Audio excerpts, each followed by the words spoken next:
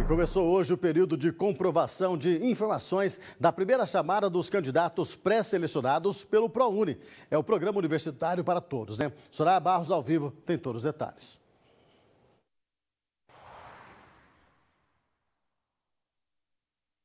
Isso mesmo, Cid. A lista né, com os aprovados nessa primeira convocação já foi divulgada e hoje então foi aberto este prazo para que então os candidatos apresentem a documentação necessária para comprovar que estão aptos a ocupar esta vaga. O prazo, então, para acessar o site do ProUni e encaminhar os documentos, ou então fazer isso presencialmente, vai até o dia 24 de agosto. Pode ser feito tanto, então, de forma remota, como de forma presencial.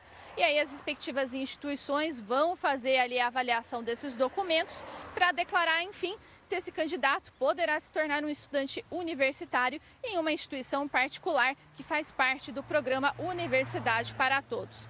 Encerrado esse prazo, tem uma segunda convocação, porque muitas vezes parte desses jovens que estão aí concorrendo a essas vagas não apresentam a documentação, não obedecem os prazos, aí é aberta uma nova convocação.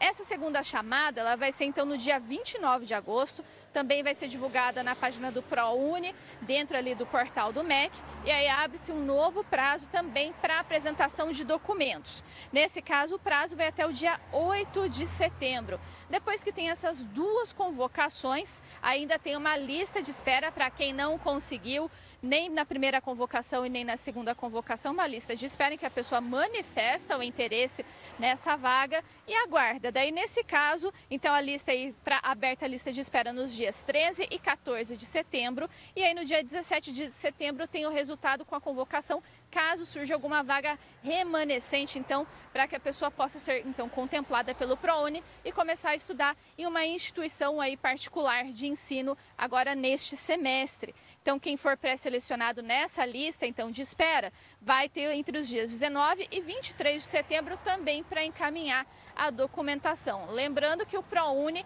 é uma das formas oferecidas pelo governo federal de ingresso às universidades, nesse caso as universidades particulares, mas uma forma de democratizar o acesso ao ensino superior no país. Cid.